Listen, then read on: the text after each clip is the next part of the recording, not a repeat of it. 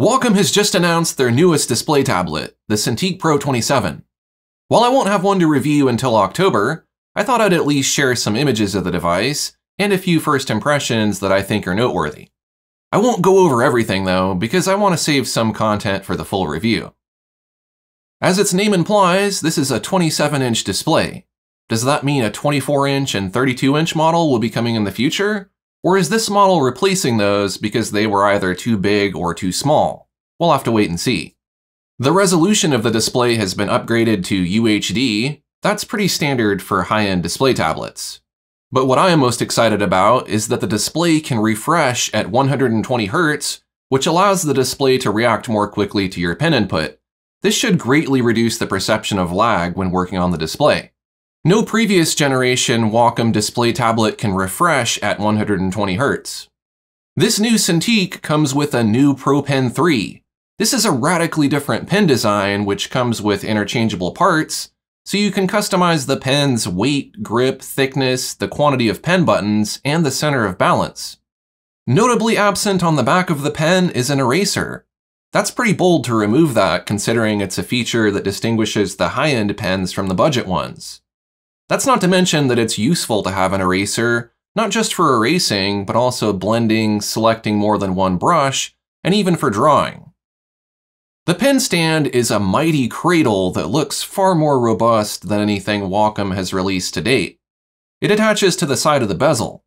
I think this will do well to hold the pen. It looks much better than the current stands that always seem to topple over or cause the pen to get knocked down. In a return to older designs, the Cintiq Pro 27 has eight external express keys, four on each side, located on the rear similar to the Cintiq Pro 16 second generation, but with a different arrangement. It's difficult for me to tell what is going on here without seeing it in person.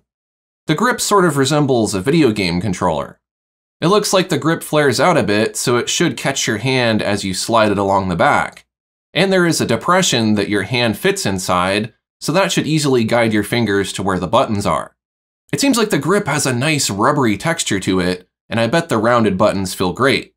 By distributing the buttons on the different sides of the grip, I can see how that might make it easier to find the buttons without being able to see them.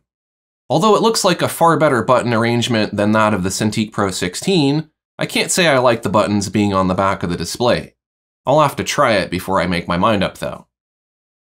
Compared to the Cintiq 27 QHD I am currently working on, the bezel on the Cintiq Pro 27 looks awfully thin. It's about the width of the pen, whereas the 27 QHD is maybe 5 to 6 times wider than that. A wider bezel gives you room to rest your palm and a buffer zone for your pen so neither abruptly runs off the edge while you're drawing. Even many of the smaller displays appear to have a wider bezel than the Cintiq Pro 27. I guess one benefit is that a thinner bezel takes up less desk space and blocks less of your other monitors. This is one feature that I'm very curious about.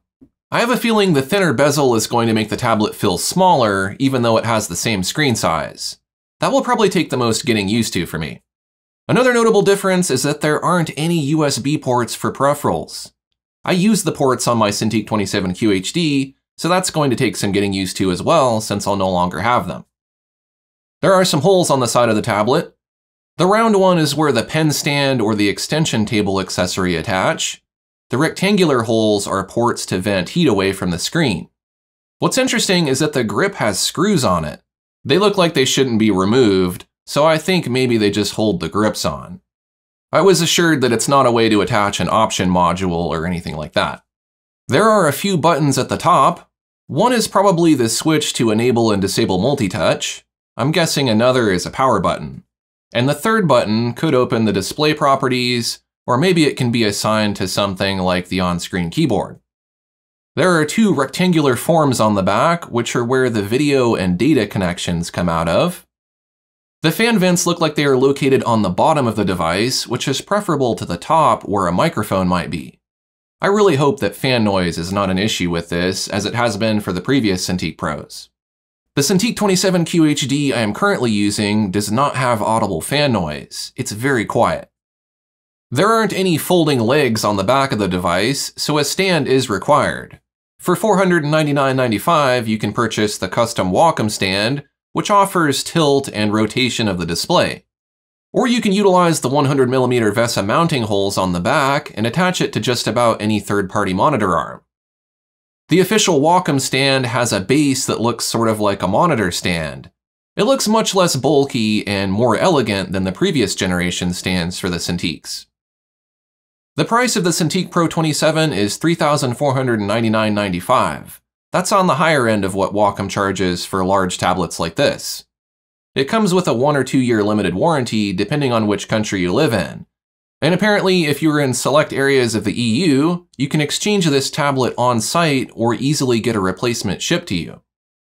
That's all I have to say about the Cintiq Pro 27 for now. Be sure to subscribe to my channel because I will be doing a more in-depth review of this device once I get my hands on it in October. Thanks for watching and I'll see you next time.